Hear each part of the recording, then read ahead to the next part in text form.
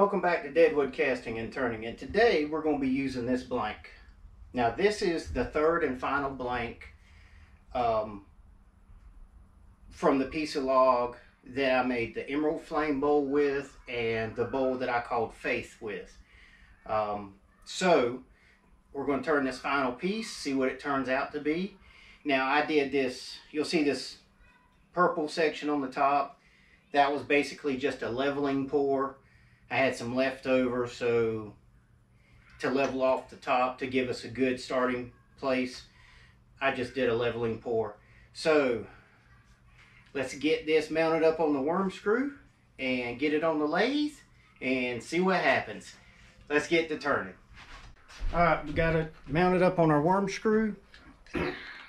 We're not going to use the speed reducer on this one because I don't think that it's needed. So we're going to start off at about 700 RPMs and get it trued up and go from there.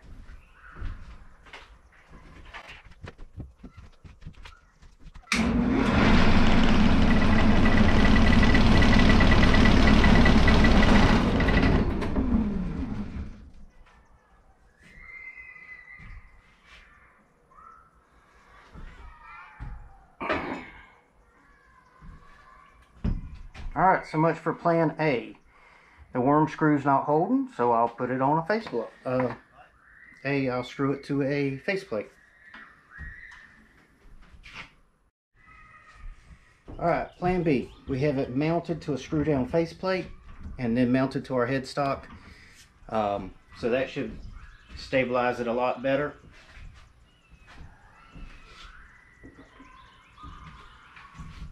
All right, let's get this trued up and see what happens.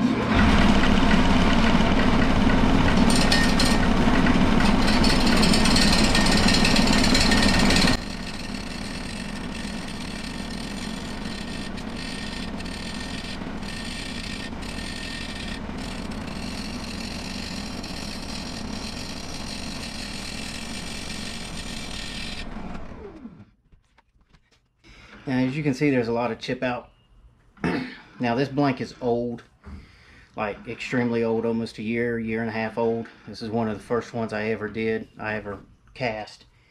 So, um, yeah, we're going to finish roughing it out, smooth it out, and go from there.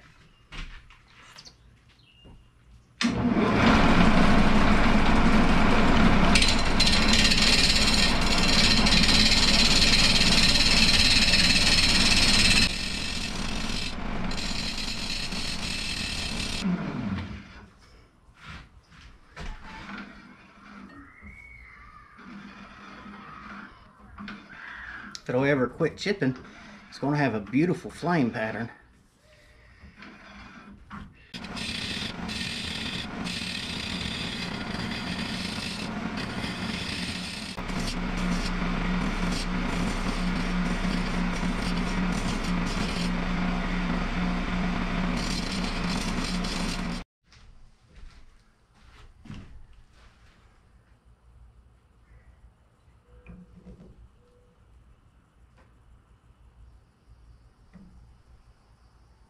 Yeah.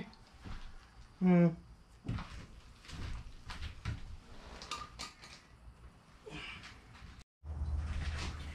Alright, I'm going to wipe this down with some denatured alcohol. I've got it sanded up at 3000. I'm going to wipe it down with some denatured alcohol and then I'm going to start the rest of the finishing process.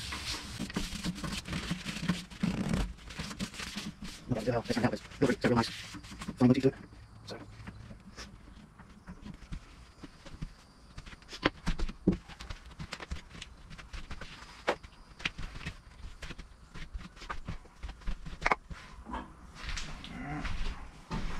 that that's dried, I'm going to use some Deft Clear Lacquer to begin with. And put a couple coats of that on.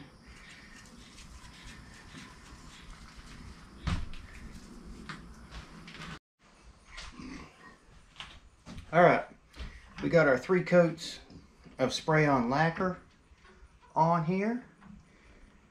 And now we're fixing to hit it with some Scotch-Brite to take all the little nubbies off and the rough spots off in the lacquer. And then we will be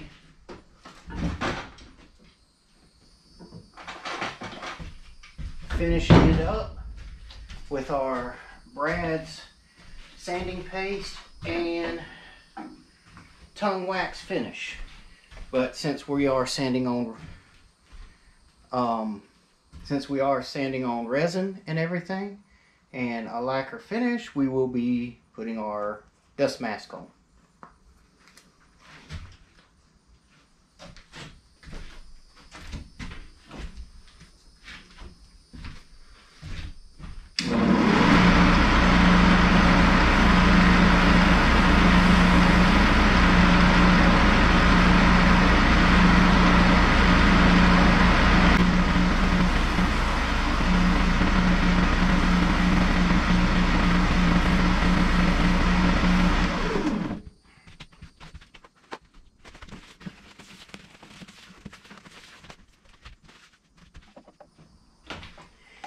Now we're going to put the rest of our finish on. We have our Brad sanding paste, which we're going to start with. And then we're going to finish up with our Brad's tung wax finish.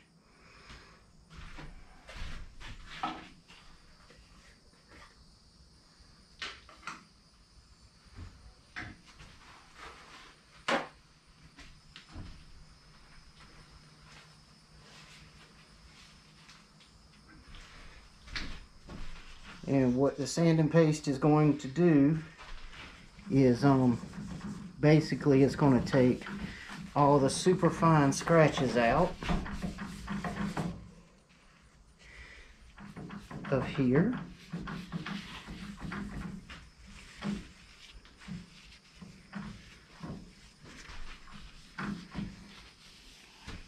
And get it ready for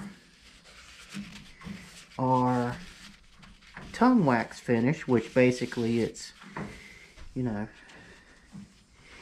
the final step in making this shiny.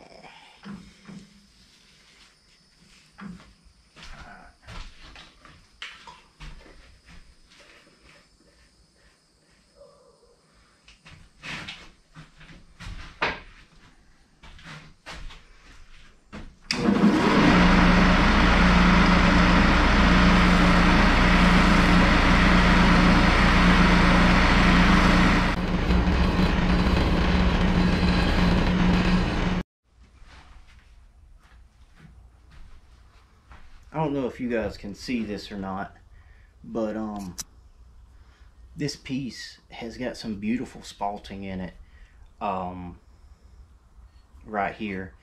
I mean, this piece is probably about a year and a half old since I actually cast it, so it's real hard and dense, but it has some beautiful, you know, characteristics to this wood, um, and it's ingrain pecan, so it's it's a little rough turning it so but I'm hoping that that I don't lose all of this this figuring in here.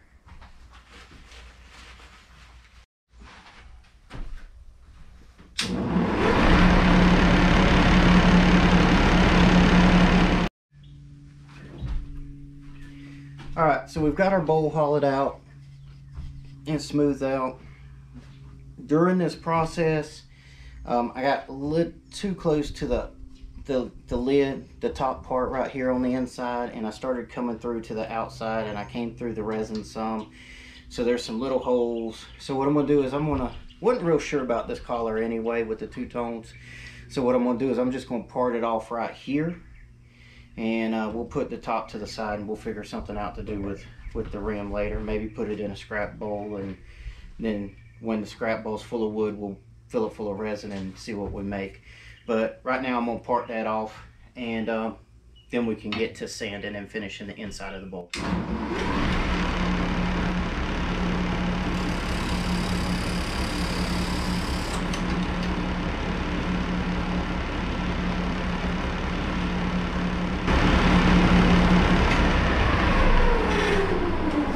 that was easier than I thought it was going to be. So there's our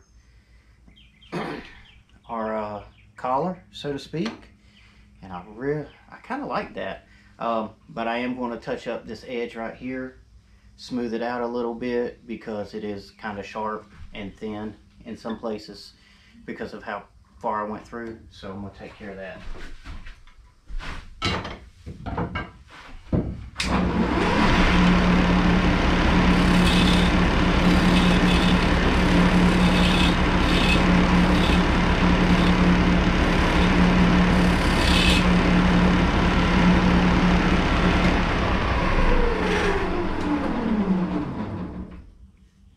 Alright, got that nice and rounded.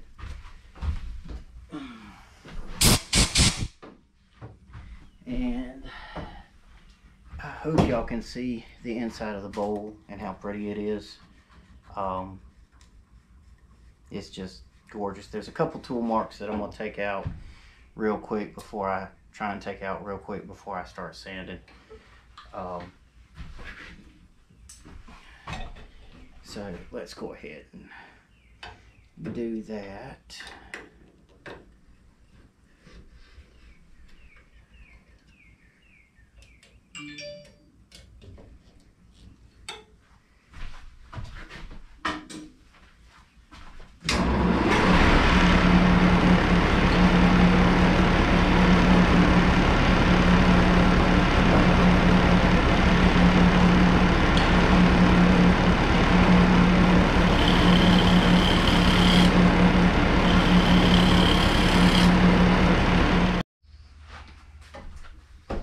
Okay, we're done sanding.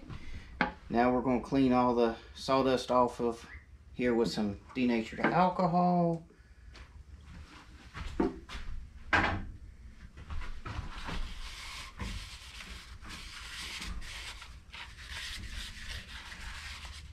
then we'll let that dry.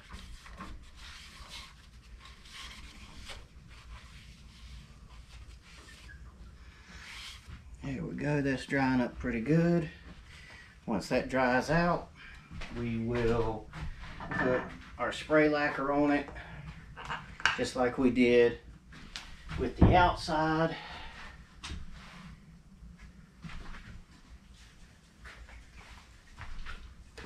We're going to use this today to spray our inside with.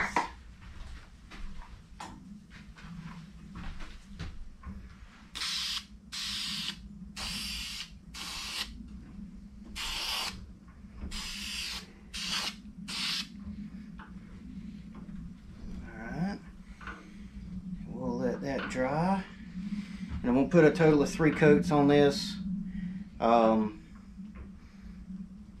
and then we'll hit it with the Scotch Brite. And then we'll finish it off with, um, of course, with Brad's sanding paste and tung wax finish. So I'll bring you back when it's time to do that. All right, welcome back. We have three coats of our spray on lacquer on it. And now we're fixing to hit it with our Scotch Brite to take all the nubbies off. And then we're going to use our Brad's sanding paste and Brad's tung wax finish to uh, shine it up and get it finished out. So, let's get it going.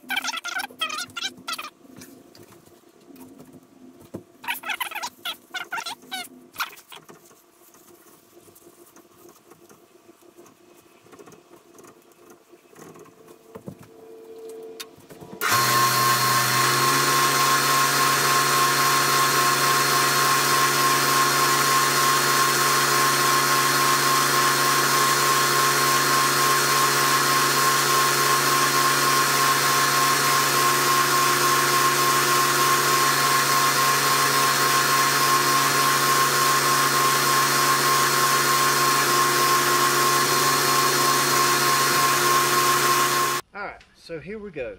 This is um, the last blank from the uh, blank that the Emerald Flame Bowl came from. This is the third one. Um, it's just a little dish. I was kind of curious to see what I could make out of it. Didn't really have a design for this one. Wound up losing the collar because I got too thin up here and come through. So I don't know if y'all can see that real well. I'll come a little bit closer so y'all can see it. I want y'all to be able to see all the, the details and the the figuring. So and there's the inside. It's got some pretty good spalting on it. So